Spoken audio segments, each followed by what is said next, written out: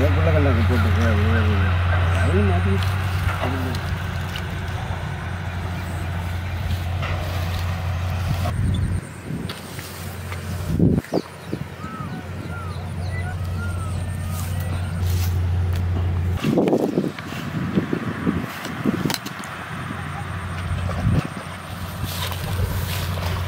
Thank you.